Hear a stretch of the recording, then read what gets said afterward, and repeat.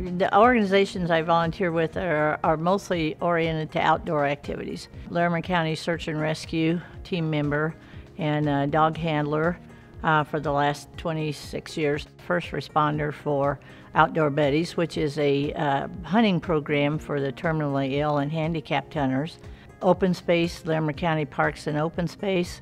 Uh, retired uh, Colorado Division of Wildlife uh, volunteer for 46 years. Uh, the um, Rocky Mountain uh, Mountain Lion Conservancy. I'm an instructor and a range officer, advanced range officer for the Estes Park uh, Gun and Archery Club also.